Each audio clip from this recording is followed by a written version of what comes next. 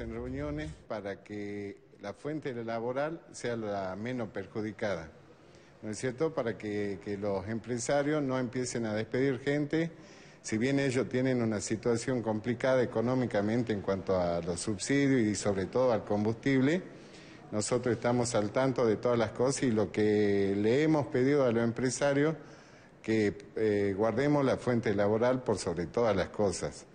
Dentro de los trabajadores, ¿están cumpliendo los horarios de trabajo, las horas de descanso?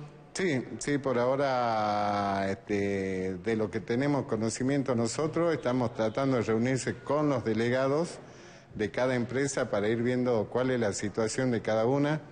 Si bien uno conoce algo, pero no todo en profundidad, así que estamos, este, ayer justamente tuvimos con un delegado de empresa de una de las empresas de corta distancia.